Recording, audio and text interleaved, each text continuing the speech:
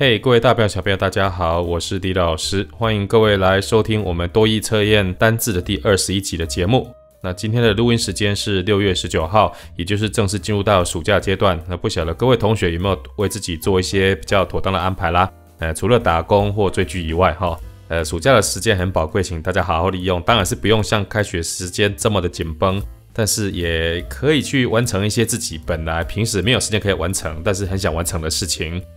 那这一阵子好消息是，疫情或许照明数字上慢慢减少了哈，虽然死亡数还是有点多，但某种程度上也许总算看到呃隧道末头的阳光了。那坏消息是，呃，接下来通货膨胀还是非常的严重，所以大家皮绷紧一点哈，好好准备，好好的多呃观察一下国际上的一些讯息。啊，当然如果能够把英文给学好，能够去看一些我们国内报道没有东西，也是相当好的。好，不管怎么样，今天的第二十集节目，我们也是要来介绍五个呃多义单字。那今天的资料量有点大哈，所以说不定录音时间会有点长。那请大家可以妥善的利用我们的时间嘛，哈，可以呃做适当的跳转哈，也许是可以把把分次给听完，这样也是可以的。就跟以前一样，我们就先把这五个单字先念一遍喽。第一个单字，oblivious，oblivious。第二个字。scatter，scatter。第三个字，capacity，capacity。第四个字，verbal，verbal。第五个字，recur，recur。依照惯例，我们在开始介绍第一个单词之前，还是先来感谢一下本节目的功德主。 非常感谢我的好友 ET Jason 为大家整理这九百个多义必考单字，完整的单字表一共有十个类别。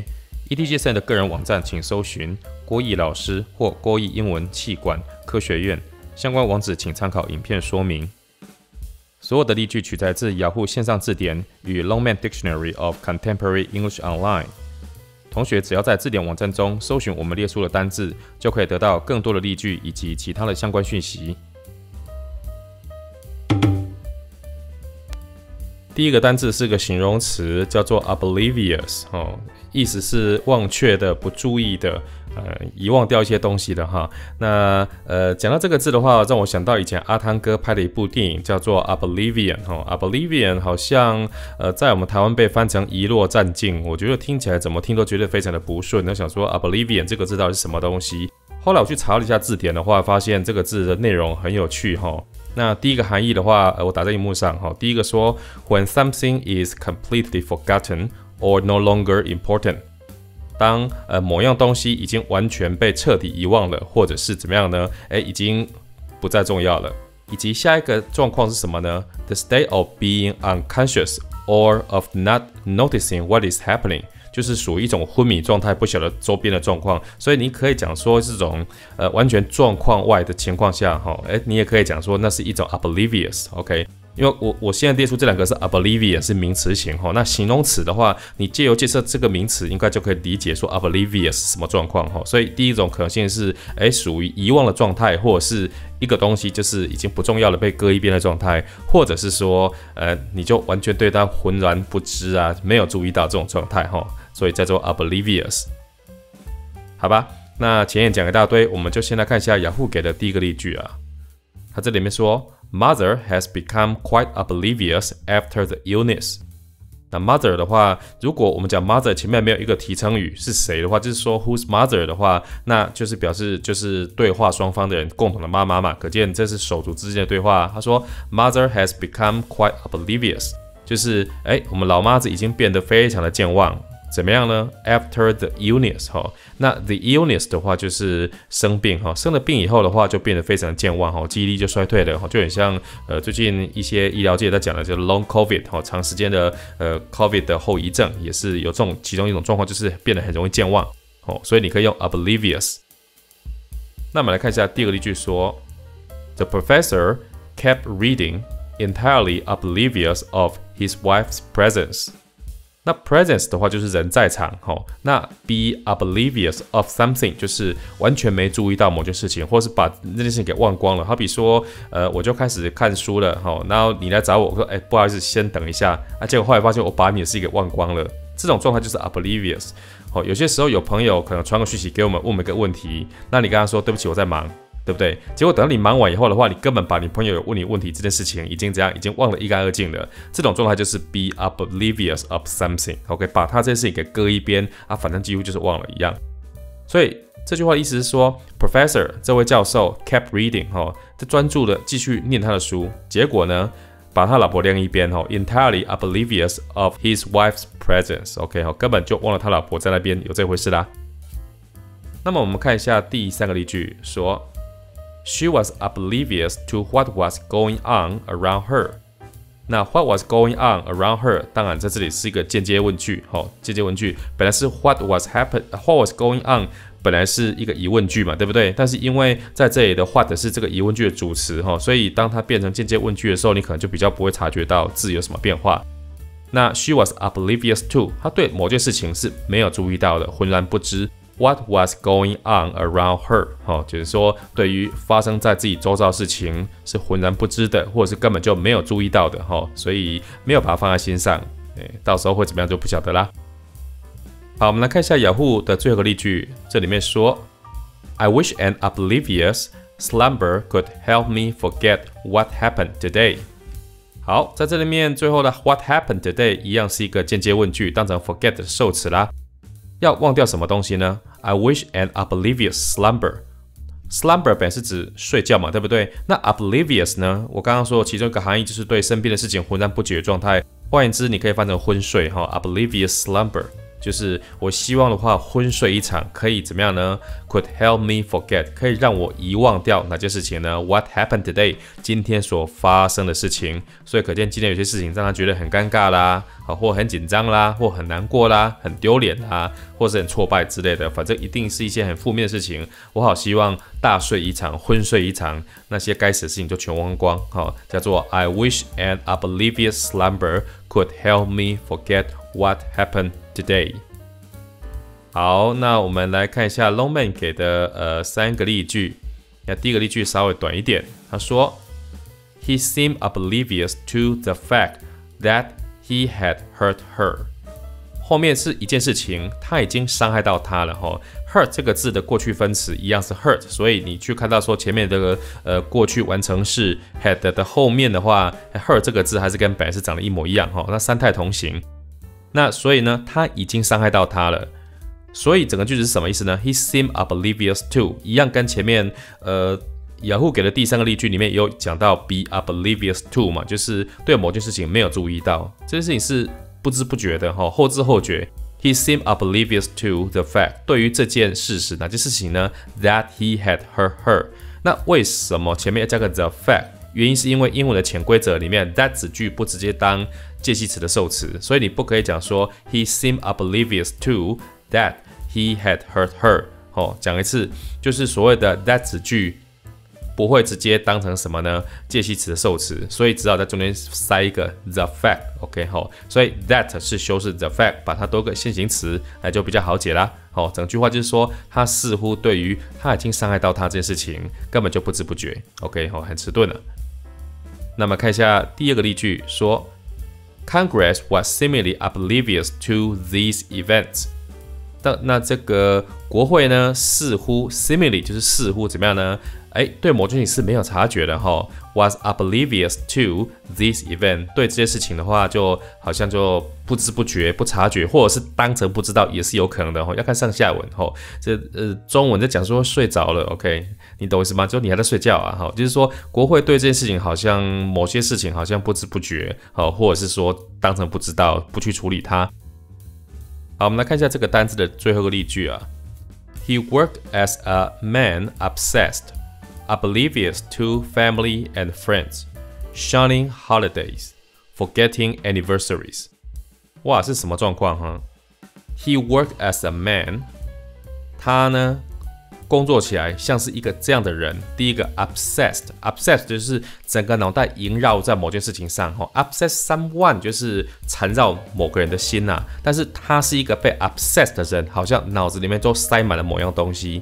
哦，好像呃中邪了。OK 哈，或者是脑袋呃好像被附身一样，就是说满脑袋都想着某件事情，哦，挥之不去啊。第二个呢，oblivious to family and friend，哦，他好像对于家人跟朋友好像根本就是呃置之不闻不问，OK，好像就是当成没有家人没有朋友一样，也不管家也不管朋友啦，以及什么呢？shunning holiday，shun 在这个就是指的是呃闪躲，OK 吼，要避开什么东西呢？holidays，OK 吼，他也不去放假，然后呢？Forgetting anniversaries 啊，甚至连一些呃纪念日哈，anniversary 本是指的是一些什么结婚周年纪念日啦，或校庆啦、周年庆之类的，结果把那些重要的日子也都忘光光了。一切是因为 he work，OK 吼，那工作起来好像呃魂不附体，然后呢忘了家人朋友，然后呢也不想要呃就是假期也在闪，你知道吗？就是说白一点，也许是呃搞不好故意休假，不要休周末。好，或者是说，诶，放假也不去跟朋友在一起的这种感觉哈，shunning holidays 以及 forgetting anniversary 哈，遇到特别的纪念日也不去管它，好，像这种情形。所以呢，怎么形容这种人呢？这种人叫做 workaholic 哈，work 这个字的话就是工作，workaholic 的话就是所谓的工作狂哈。呃，要是有人这样形容你的话，是好也是不好。总而言之，就是你这个人把工作看得非常重。那顺便衍生出呃别的字啊哈，一个叫做 alcoholic 哈。alcohol，a l c o h o l 这个字是酒精嘛，对不对？所以呢，alcoholic 的话就是非常喜欢酒精的人，那就是酒鬼啦。哦，你讲某人是 alcoholic 的话，当然就是酒鬼。哦，你这个人很爱喝啊。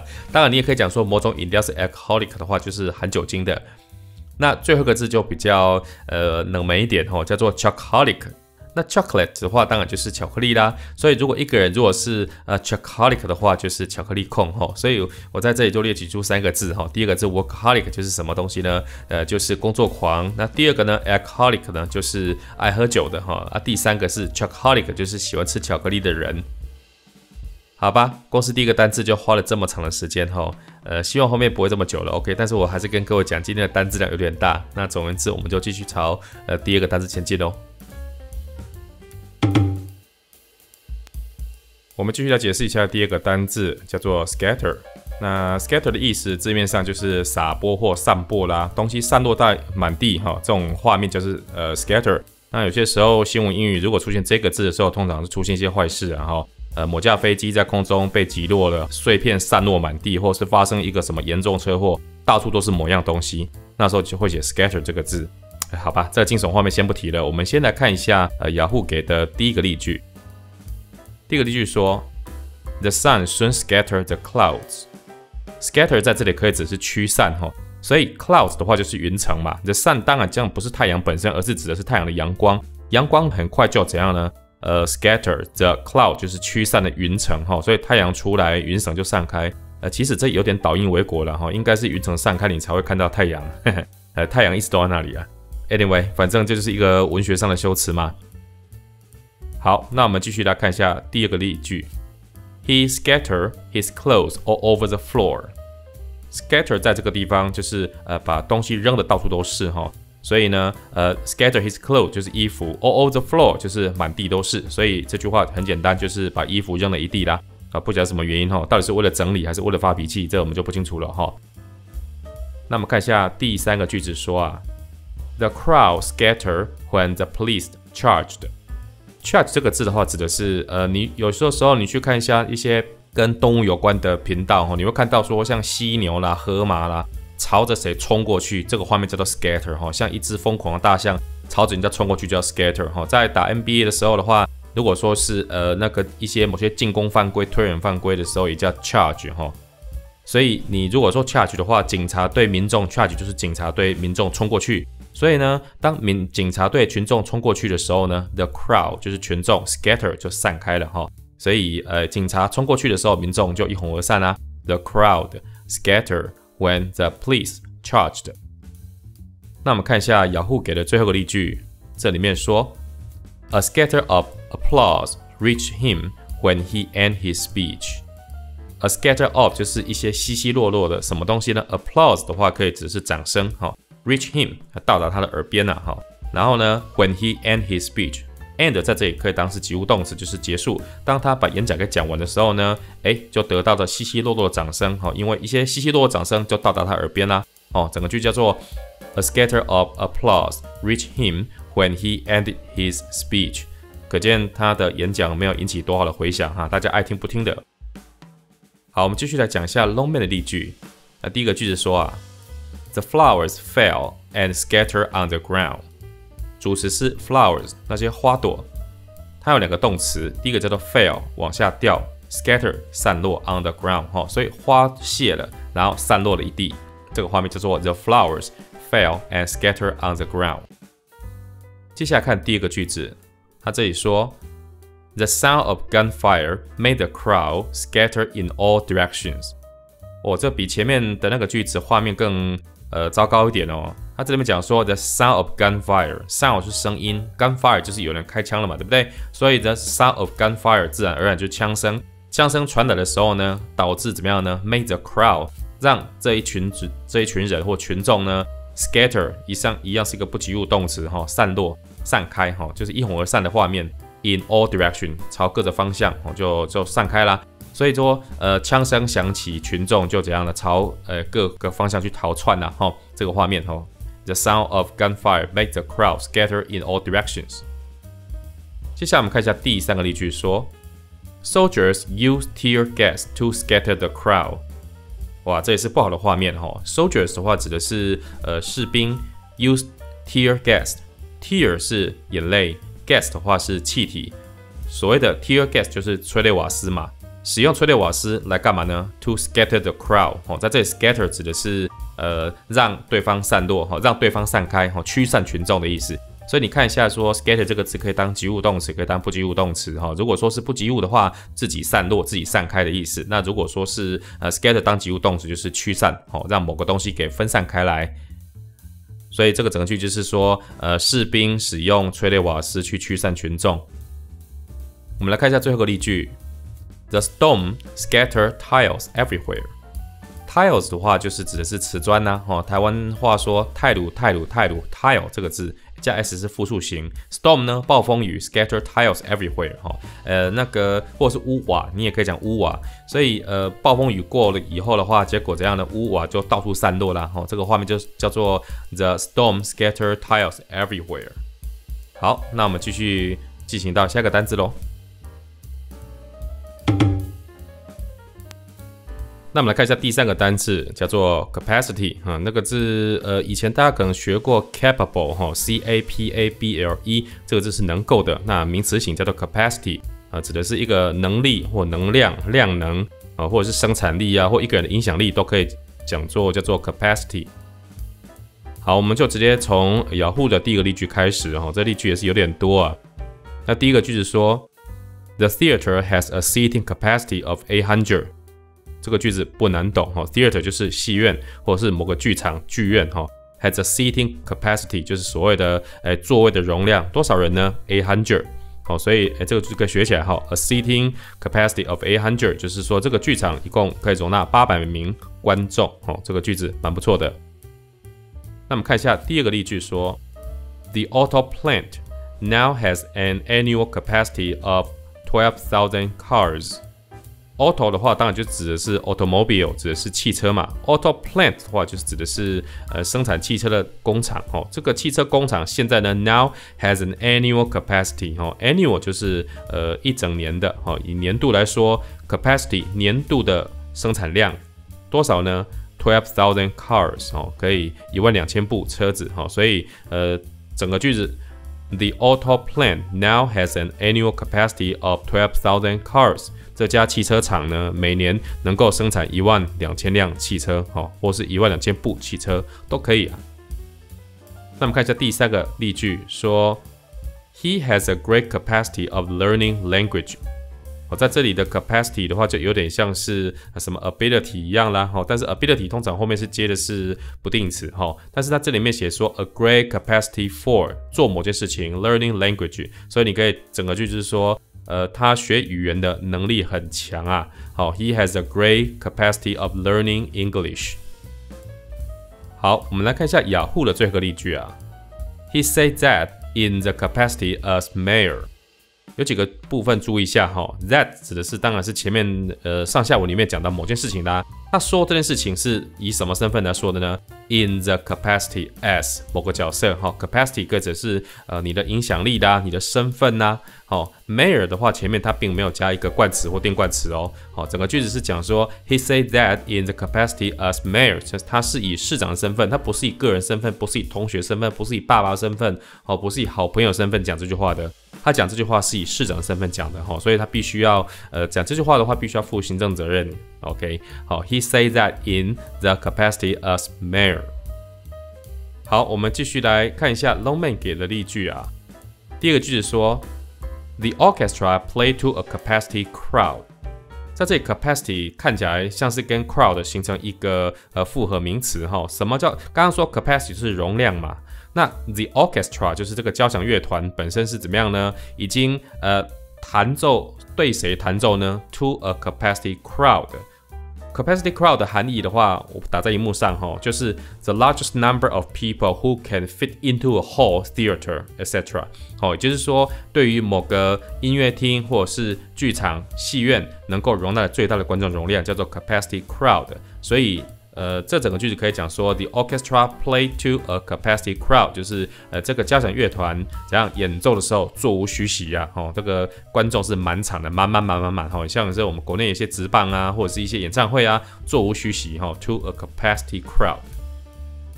那我们看一下第二个句子说，all the hotels were filled to capacity，fill 就是被塞满的，capacity 就是容量，所以。这里面所有的饭店都怎么样呢？Fill to capacity 哈，就是已经这样都已经客满了哈，所以已经塞到呃没有空房可以塞了哈，所以叫做 All the hotels were filled to capacity。那我们继续看下一个句子说，Rollins will be working in an advisory capacity on this project。Rollins 是个人名，他会即将在一个 专案叫做 On this project，在这个专案里面扮演什么角色呢？In an advisory capacity，哈，扮演一个呃咨询的角色，哈，这个句子就是说，Rollins 在这个专案，在这个计划会扮一个咨询角色。Rollins will be working in an advisory capacity on this project，哈，这个这里的 capacity 就是以某人的身份，以某人的影响力去做这件事情啦。好，我们继续看一下下一个例句，哈，这一共 Roman 一共我找了六个句子，哈，现在是第四个，哈。他说啊，I attended the meeting in my capacity as chairman of the safety committee. Chairman 当然就指的是主席啦，safety committee 就是一个安全委员会嘛，对不对？好，那 my capacity as 什么身份，就是以什么身份来的。所以前面讲说 I attend the meeting，我出席这场会议是以什么身份？In my capacity as chairman，是我以某个主席的身份出席的。什么什么的主席呢？Of the safety committee 哈，安全委员会。所以整个句子的话，整个句子就是说，I attend the meeting in my capacity as chairman of the safety meeting。我是以安全委员会主席的身份出席这场会议。好，我们看一下第五个例句，这里说，The factory has been working at full capacity。哦，这个也没有很难懂哦。那个 capacity 在这里就应该翻成产能了哈。什么东西呢？什么叫 at full capacity？也就是嗯，大家看一下荧幕，这里说 making the most amount of things that it can，哈，就是说呃，以它能够产生最大量的货物这样子的状态。那当然，当然就是说产能全开的意思哈，at full capacity。好，所以这个句子我再讲一次哈，the factory has been working at full capacity，就是这家工厂现在处于产能全开的状态，像我们台积电呐、护国神山呐。终于进行到最后一个例句啊。讲说，the tax on cars is still based on engine capacity。在这 engine capacity 当然就指的是引擎的排气量啦，哈，所以呢，在车子上面的税，the tax on cars 呢 is still based on 以什么为基础？engine capacity。好，那整个句就是说，呃，车子要课税还是以排气量为基准？好，我们就继续往下个单词前进哦。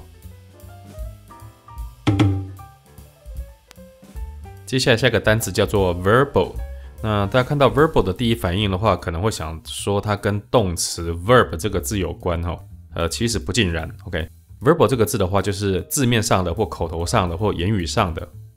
那还有另一个形容词叫 verbose，哈，v e r b o s e。呃，如果一个老师上课的风格被学生形容成 verbose 的话，可能学生觉得他，呃，这个老师话蛮多，蛮啰嗦的哈，啰里吧嗦的哈，或者是说一篇文章非常的冗长哈，用用一大堆字，那叫 verbose。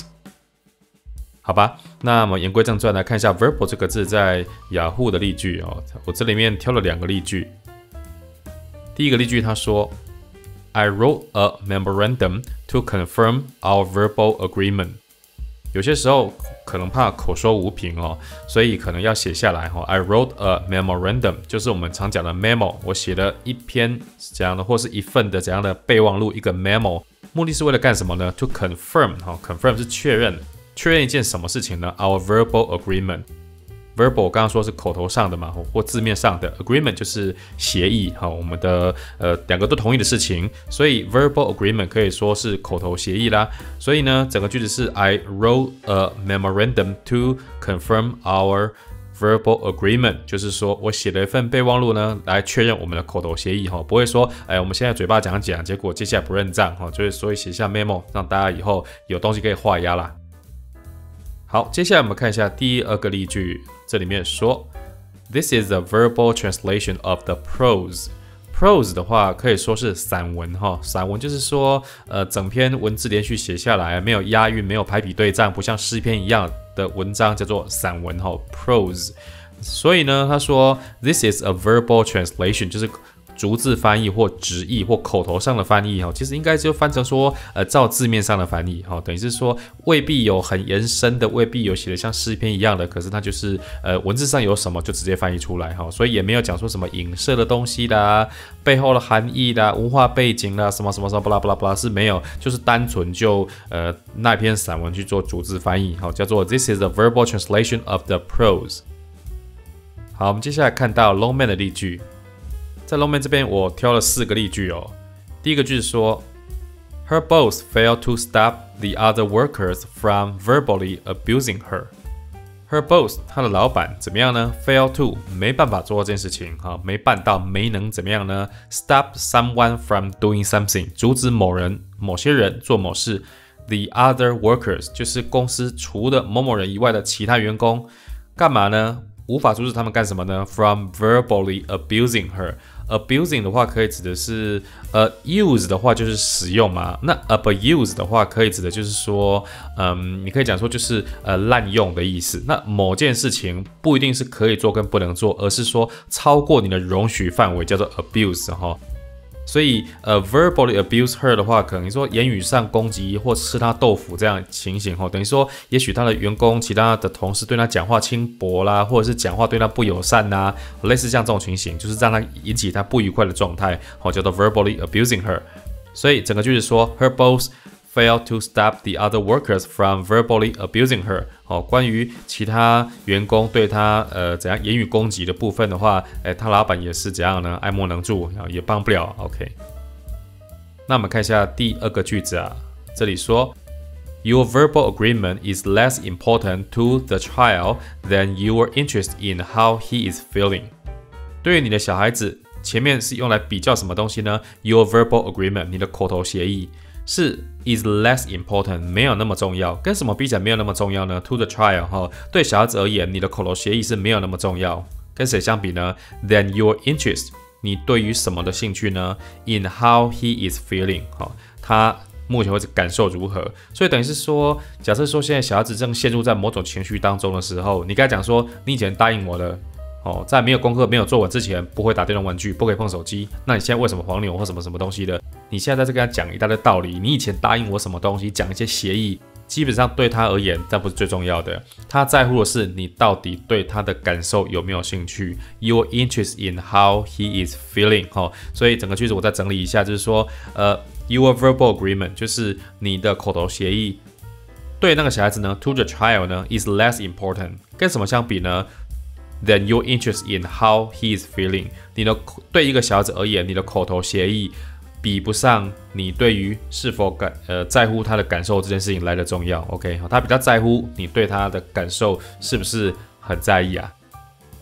好，我们看一下第三个例句，这里面说，Maria was getting lots of verbal from her staff。看起来呃，Maria 的话呃也是。好像主管一样的人哈，was getting lots of lots 话本来是指装满嘛，这车子塞了一卡车啊，对不对？然后装满满的叫做 load，那 getting lots of 就是 a lot of 的意思哦，得到一大堆的 verbal，verbal 可以指的是言语上的抱怨啊、攻击啦、批判呐那种东西，所以呢，他得到了一大堆的言语批评哦，from her step。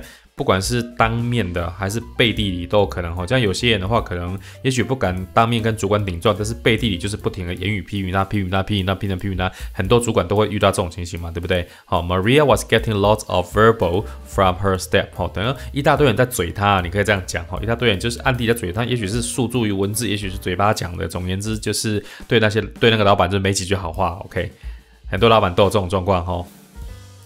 好，我们看一下最后的一句啊，这里面说。The bank manager gave verbal assurance of the security of the investment。